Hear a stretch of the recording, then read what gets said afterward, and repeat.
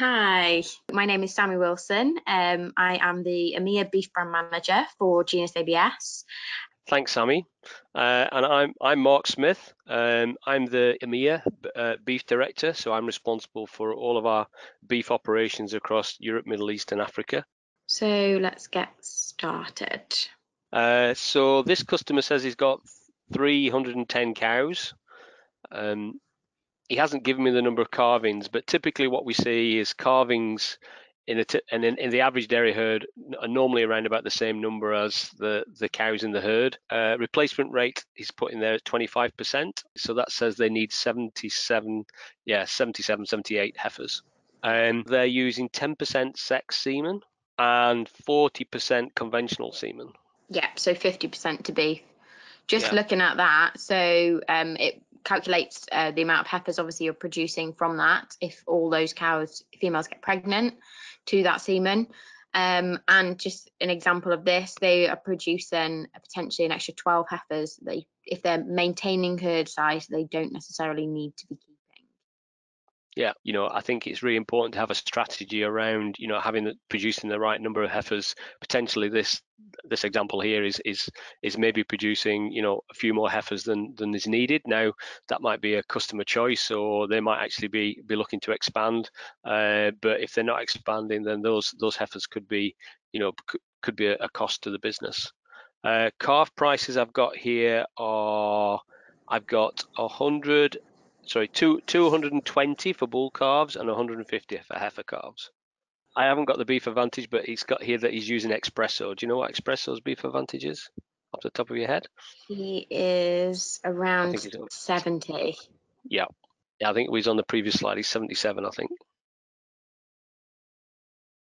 So as I explained it before, so it gives you um, the calf crop value. So it shows you that 28,675, uh, which is those beef calves um, that you're going to have born, uh, looking at the values and obviously the percentages that you've used. And then um, the beef advantage, if you put every calving with a, an advantage of 80 pounds, then that is 12,000 pound um, increase as well. And so when we put that together, um, what we call a 13th milk check, uh, that would come to over 41,000 throughout the year. So I've got 26 uh, pence per litre currently. Um, and so in equivalent milk litres, uh, that would be 157,981 milk litres.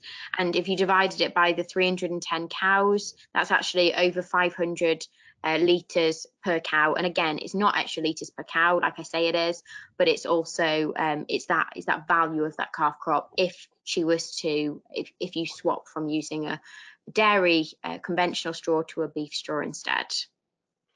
Sammy, just just for a bit of again, just for a bit of interest, what we could do is we could tweak those numbers up there a little bit and see if we can get yeah. the heifer numbers to match the requirements. So maybe if we put the sexed up to, uh, if we put the sexed up to 20%.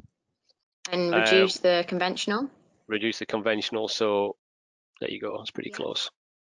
So you can see there, having done that, we've we've got more than you know, we've got enough heifers, uh, but actually that those extra beef calves have dropped down there to the to the bottom line. We've got now got 37,000 pounds worth of calf crop value, and you know the 13th milk check we've got there has, has jumped up to 53,000 you know we have a lot of customers today that, that are only using sex semen and and beef semen. So actually that conventional semen box could be could be zero uh, and is is zero on a lot of our customer herds. And you know the impact of that is is just to drive more more beef calves um you know all the heifers are produced through sex semen.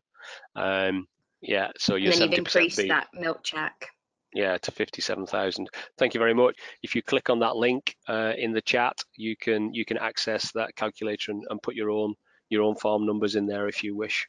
Thank you very much everybody